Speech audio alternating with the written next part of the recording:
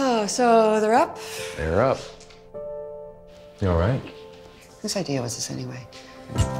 What if everything from my last drink to the last breath left in this body, what if all of it was perfect? Just waiting for me to say yes to something. The photo—it was so close up, really intimate, but completely anonymous. Do you know what this party's about? What do you think's in there? Was a collection of vaginas. You don't think there was something beautiful about it all? I thought the shots were beautiful. With that eerie old technique, made them look almost mythic. Creep show pornography. According to you. According to society. So I started looking, and that's when I realized I want to be in a relationship. I don't want to have this conversation anymore. These are not just photographs. It is about life. Is Melanie okay?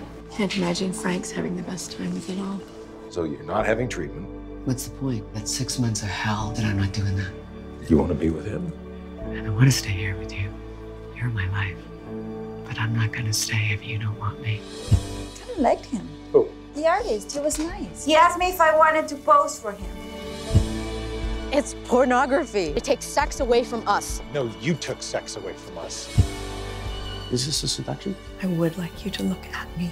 I want to be all in. I want to be all in with you. Are you scared? I'll be scared later. What do you feel right now? The photographs?